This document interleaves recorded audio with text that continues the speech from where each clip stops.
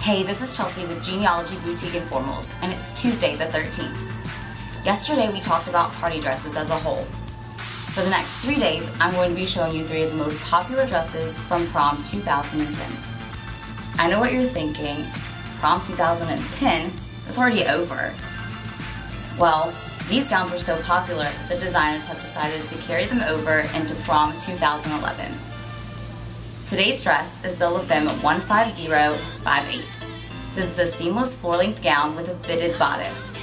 The front of the dress is draped, which is a flattering fit on every figure, and the slight train on the multicolored skirt gives the La Femme 15058 a little bit of red carpet glamour.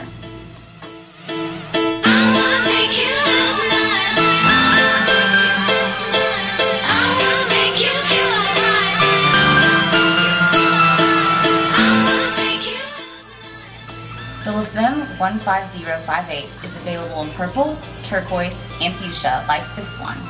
The colors are pulled directly from the paisley pattern, so the top coordinates perfectly with the print.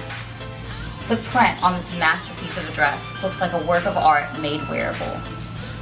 The strapless heart-shaped neckline is held up by double straps that cross in the middle of the low back. La Femme is really famous for doing low backs on a lot of their formal gowns and you're not going to see that detail in many formal dresses.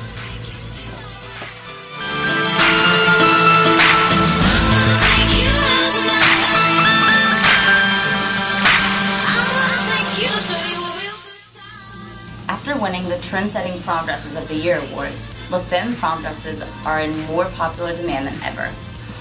The La Femme 15058 dress is perfect for spring or summer and will make a lasting impression every time you wear it.